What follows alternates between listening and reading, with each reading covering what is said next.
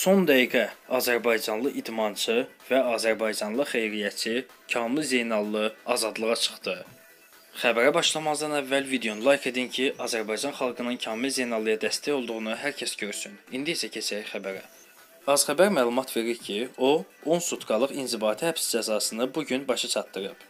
Xatırladaq ki, Kamil Zeynallı İnzibati Xətalar Məcəlləsinin 5 sonuncu maddəsi, yəni xırda xuliqanlıq, yəni ictimai qaydanı pozan, lakin fiziki şəxslər üzərində zor tətbiq olunması ilə və ya belə zorun tətbiq edilməsi hədəsi ilə yaxud özgənin əmlakının məhv edilməsi və ya zədələnməsi ilə müşahidə edilməyən hərəkətlərinə görə o Nərimanov rayon məhkəməsinin qərarı ilə 10 sutkalıq həbs cəzası almışdı.